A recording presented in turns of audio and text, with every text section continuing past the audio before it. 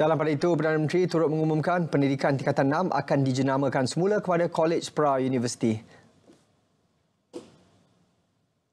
Pendidikan tingkatan 6 akan terus diperkasa melalui penyenamaan semula kepada College Pra University.